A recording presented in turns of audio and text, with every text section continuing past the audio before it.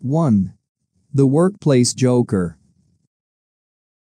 From the beginning, this collaborator appears to coexist well with everybody, downplaying everything. For certain people, this consistent kidding and giggling might be a certifiable endeavor to alleviate pressure, yet the workplace joker frequently has a ulterior rationale. Through giggling, she endeavors to fabricate connections to earn particular treatment, or even to harm others' notorieties to propel her own profession, assuming this individual just makes messes around managers and others with power thinking a ulterior motive is most likely protected. Tread carefully around the workplace joker, however recall that she isn't exactly your concern. The supervisors will ultimately understand that this joker has no genuine unique interactions to colleagues, particularly assuming she is making jokes to the detriment of associates.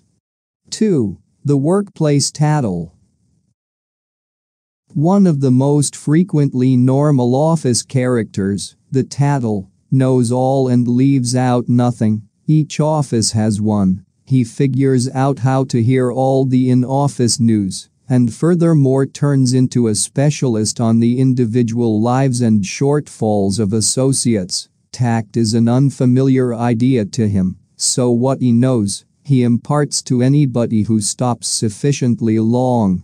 Managing a tattle dog can be interesting, since you'll for the most part need to chat with him about projects. However, keep the conversation stringently on business. At the point when the subject starts to float to the individual, remove yourself rapidly with the reason of squeezing work and approaching cutoff times.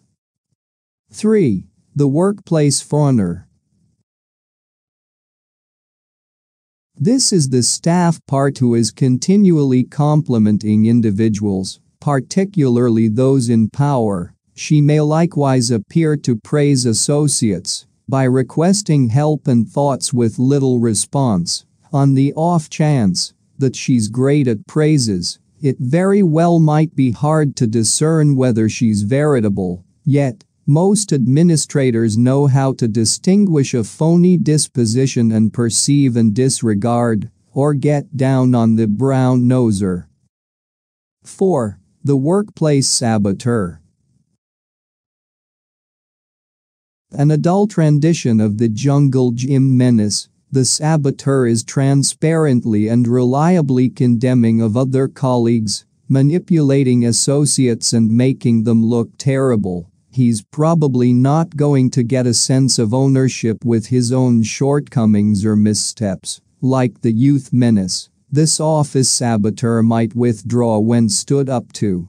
On the off chance that you're not happy doing that, or on the other hand assuming it's ineffectual, keep a definite log of the cooperations on a scheduler organizer kept in a genuinely nonpartisan language whenever the situation allows, and examine what is going on with a supervisor or with a HR specialist.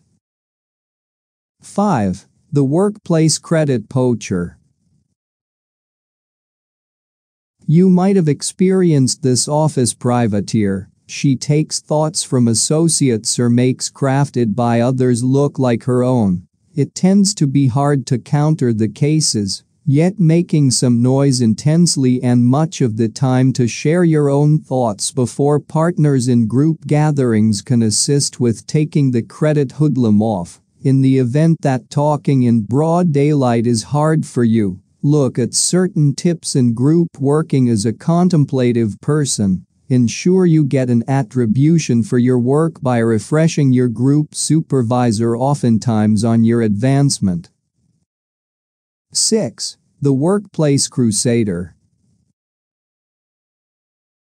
A political lobbyist could take illustrations from the Workplace Crusader. He pushes hard to get people on his side of pretty much any issue, and he can frequently influence conclusions by weakening there are a few strategies for managing him. Overlook him, so his cries go unheard voice your own perspectives on projects, particularly assuming that you can't help contradicting the lobbyist make sense of your position completely, as you might adjust his perspective. 7. The Workplace Mentor